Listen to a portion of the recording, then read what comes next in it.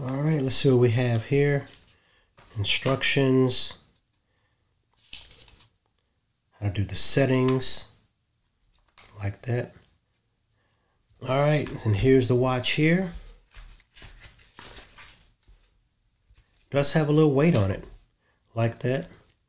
See, this has a plastic screen on it, protective screen. It does. Let's pull that off. Don't need that.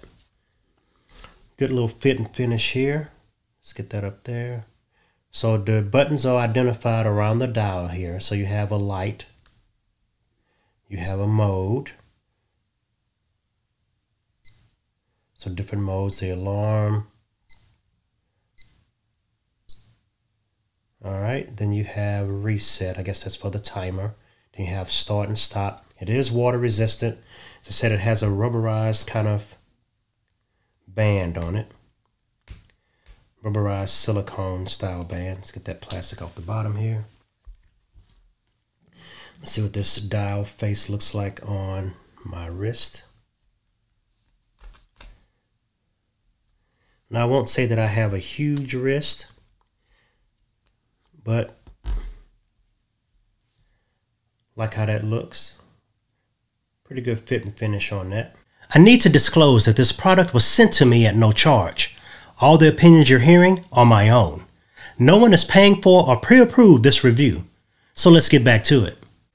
So here we are. Let's see if we can kind of do a couple of the settings here. So let's see, long press reset for three seconds. All right, so now we see the different times of things flashing. So I'm going to set the year. So I press it three times to get the year. Then I hit start stop to set the correct year, which is this button. And we're going to get up to 2022. Then hit reset to save that. Okay. Now we're going to do the same thing and let's set the month and the day. That seems pretty easy. So let's see if we can do some other ones. So we're going to hold down reset for three seconds again.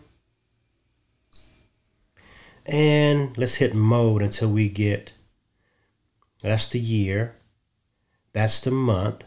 And now we can hit start stop on the month. And let's hit mode again. Let's give a start stop on the date. So I'm gonna have to roll through a little bit. Let me see if I hold down. Nope, doesn't go fast if you hold down. So let's do this. There we go. And hit reset again to lock that in. And it actually gave me the correct day of the week because I've already set the date, well, the year already. All right, so it's pretty easy to use as I see here different functions, pretty simple functions, water resistant, so you can wear it when you're working out or doing a little swim, things like that. Easy to set, good rubberized band, nice watch face. I think it's worth checking out, y'all. And check out my next video. Bye-bye.